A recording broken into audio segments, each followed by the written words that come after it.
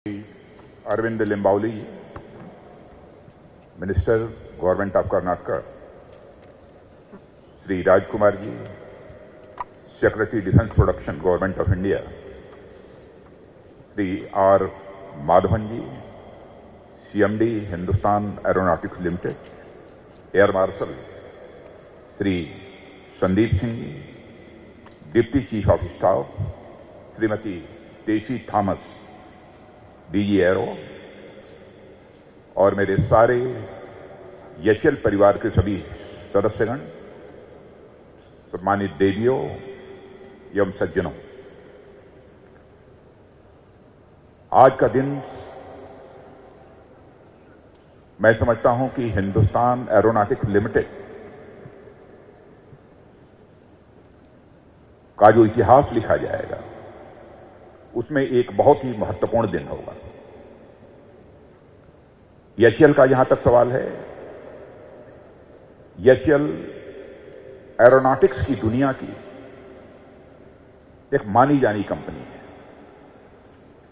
यशियल का नाम केवल लोग भारत में ही नहीं जानते हैं, बल्कि दुनिया के दूसरे देशों में जाइए, वहाँ पर भी लोग यशियल से अच्छी तरह परिचित हैं। यानी इसकी यह क्रेडिबिलिटी है, एक इसकी साख है सारी दुनिया में। आज उसी हिंदुस्तान एरोनॉटिक्स लिमिटेड के नए तेजस प्लांट का उद्घाटन करते हुए मुझे बेहद खुशी हो रही है और इस अवसर पर अपनी तरफ़ से मैं आप सभी देवियों, सज्जनों को हार्दिक बधाई भी देता हूँ।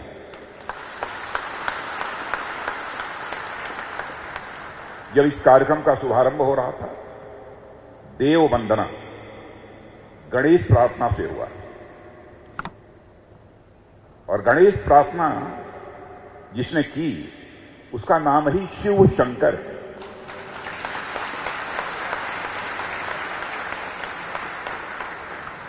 और शिव शंकर ने जिस प्रकार की देव प्रार्थना की है, मैं शिव शंकर जी को अपनी तरफ़ से हार्दिक बधाई देता हूँ।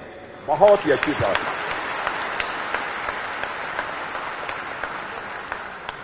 कब तक हम देश की सुरक्षा के लिए दुनिया के दूसरे देशों पर डिपेंडेंट रहेंगे? लंबे समय तक नहीं रह सकते। और हमारे प्रधानमंत्री का तो बार बार आग्रह रहता है कि इंडिजनाइजेशन को, स्वदेशीकरण को, जितना भी हम बल दे सकते हैं, हम वो बल देना चाहिए और उस पर हमको कदम आगे बढ़ाना चाहिए। और हम सभी का यह संकल्प है कि हम जो भी बनाना होगा डिफेंस इक्विपमेंट प्लेटफॉर्म वेपन्स कोशिश हमारी यह है कि हम खुद बनाएँगे। और सीमा की और अपने स्वाभिमान की दोनों की सुरक्षा भी करेंगे। एक लाभ और हुआ है। आज के इस उद्घाटन से आत्मनिर्भर भारत का हमारा यह संकल्प भी पूरा हुआ है। और दोनों टेक्नोलॉजिकल और मैन्युफैक्चरिंग सेक्टर में हम आत्मनिर्भर बनना चाहते हैं, यह संदेश केवल भारत की सीमा तक ही नहीं रहेगा, बल्कि दुनिया के दूसरे देशों तक यह संदेश चला जाएगा कि भारत को आत्मनिर्भर भारत बनाने में गवर्नमेंट ऑफ़ इंडिया बहुत ही गंभीर है। यह संदेश सारी दुनिया को जाएगा, ऐसा मेरा मानना है। और तेजस का यह जो नया प्लांट है। देश के सामने इंडिजनाइजेशन की तो अपने में एक मिसाल है। एक यह उदाहरण तो है ही। साथ ही साथ ही कोविड महामारी के संकट को भी हमने एक अवसर में बदल दिया है। यानी कोविड पैंडेमिक की क्राइसिस को अपॉर्चुनिटी में बदलने का काम हम लोगों ने किया है और उसमें हम सबको कामयाबी हासिल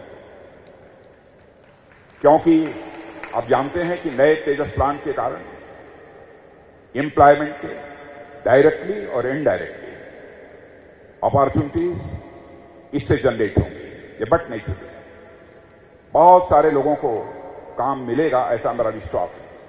और मेरी जानकारी में यह भी आया है कि आप सबने सिस्टम इंटीग्रेटेड मॉडल को जो अपनाया है, उसके तहत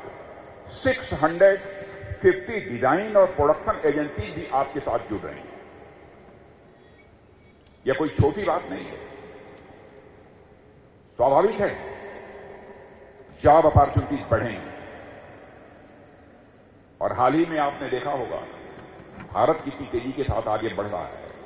इन्हीं सब कारणों से इंटरनेशनल मॉनिटरी फंड ने प्रो कोविड इकोनॉमी को लेकर एक तमाम देशों की एक लिस्ट तैयार की। और इस पोस्ट कोविड इकोनॉमी में किस देश की स्थिति कैसी है, इसके संबंध में एक अपनी रिपोर्ट दी है।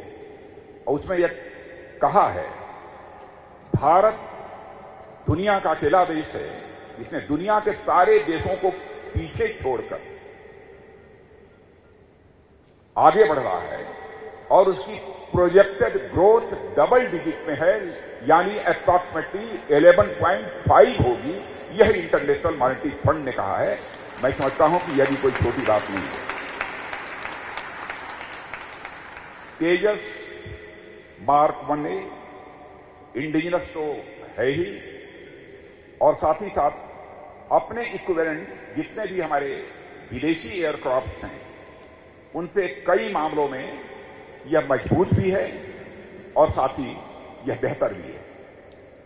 जितने भी इसके स्पेसिफिकेशन हैं, चाहे वह इंजन हो राडार सिस्टम हो इलेक्ट्रॉनिक वारफेयर सूट हो, या बियॉन्ड विजुअल रेंज हो, या एयर टू एयर रिफ्यूलिंग की व्यवस्था हो, या मेंटेनेंस का सवाल हो, हर मामले में कंपेरेटिवली यह बेटर एयरक्राफ्ट है और कास्ट के मामले में भी कंपेरेटिवली हमारे तेजस की यह कास्ट कम रहेगी। यह भी हमारा एक मेजर अचीवमेंट है। मैं इसके लिए मैं एचएल को अपनी तरफ़ से हार्दिक बधाई देता हूँ। और सचमुच यह हम सबके लिए एक गर्व का विषय है। और एचएल की हिस्ट्री के बारे में भी हम देखें तो आज़ादी के पहले से ही एरोनॉटिक्स के सेक्टर में अपना बहुत एक मेजर और इंपॉर्टेंट रोल यह एचएल प्ले कर रहा है। और हमारे देश की सोशियो इकोनॉमी की प्रोग्रेस में जिन पब्लिक सेक्टर अंडरटेकिंग्स का कंट्रीब्यूशन है, उसमें एचएल का एक मेजर कंट्रीब्यूशन है, यह भी मैं कॉन्फिडेंस के साथ कह सकता हूँ।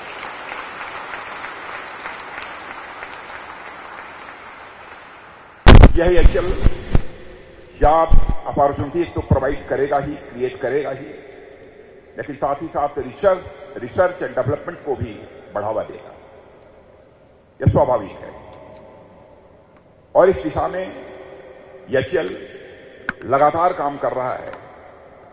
और इसके लिए मैं एचएल के सीएमडी माधवन जी और उनकी पूरी टीम को और आप सभी को अपनी तरफ़ से मैं हार्दिक बधाई देता हूँ। और आपको इसलिए भी बधाई देना चाहता हूँ कि कोविड के समय में भी आपकी वर्क इफिशियंसी पर कोई असर नहीं पड़ने पाया।